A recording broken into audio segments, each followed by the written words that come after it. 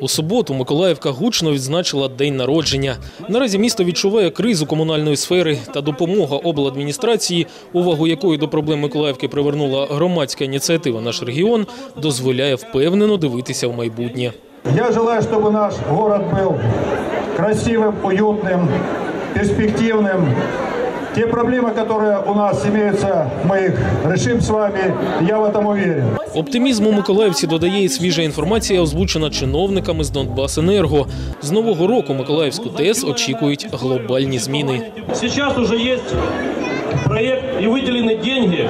И реализация этого проекта начнется с 2013 года. Седьмой блок Славянска ТЭС будет реконструирован, реконструирован и модернизирован. Потужність станції зросте майже на 25 мегаваттів. Та й це ще не все.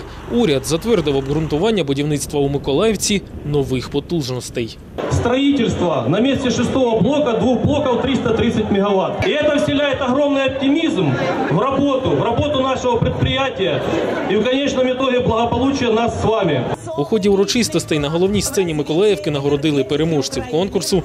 Вони прославляють наше місто. Кращим керівником став Юрій Середа. Кращі працівники Олег Бочко та В'ячеслав Блудов. Лікар року Леонід Сердюков. У сфері освіти нагородили трьох: Віру Дев'яткову, Олену Кузьменко та Лідію Давиденко. Кращим працівником культури визнали Ольгу Ананко. Відзначили найкращих учнів одинадцятикласників Олексія Куліша та Аліма Ахмедова. До привітань з нагоди свята долучився і представник громадської ініціативи Наш регіон. Николаевка это всегда была жемчужиной у нас. Была, есть и остается. Прошлое мы с вами хорошо знаем. Настоящее это мы с вами. А вот будущее мы тоже вместе с вами сделаем. Вместе, вместе, еще раз вместе.